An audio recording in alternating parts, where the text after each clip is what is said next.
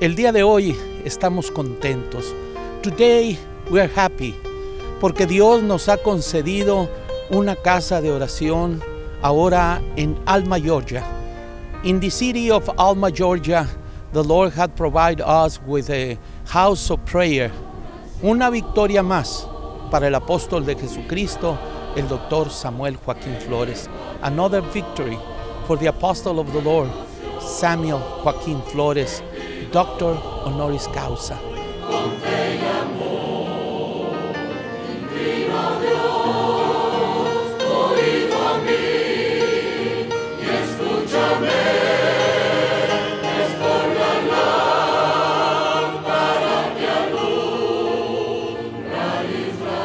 qué proyectos tan enormes en todo el mundo, cuántas naciones, cuántas personas. What a great project all over the world.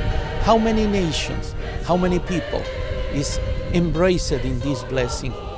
Esta iglesia, que era una iglesia adventista del séptimo día, this church that was an Adventist church of the seventh day, we had the opportunity to buy it. Tuvimos la oportunidad de comprarla los miembros se fueron de Alma, the members moved from Alma y aquí en este lugar quedó pues vacío. In this place was empty y nosotros no podemos ver una casa vacía. Siempre queremos que esté llena para alabar y bendecir a nuestro Dios. We don't like to see a house empty. We want to see it full, praising and glorifying the name of the Lord.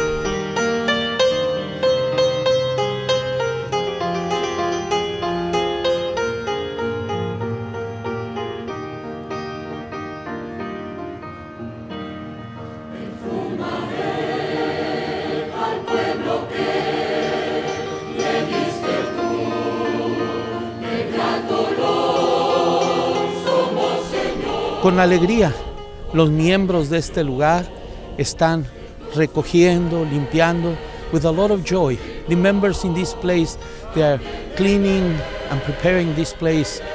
Is today the first day. Hoy es el primer día. Hoy en la mañana nos entregaron los papeles. This morning we received the keys and the papers, esas llaves para entrar y Dios nos permite que hoy en la noche no como una inauguración, tonight, not like a inauguration or dedication service, nada más una acción de gracias, just to give thanks unto the Lord. Hoy estaremos aquí alabando y bendiciendo a Dios. Today we're going to be here praising the name of the Lord.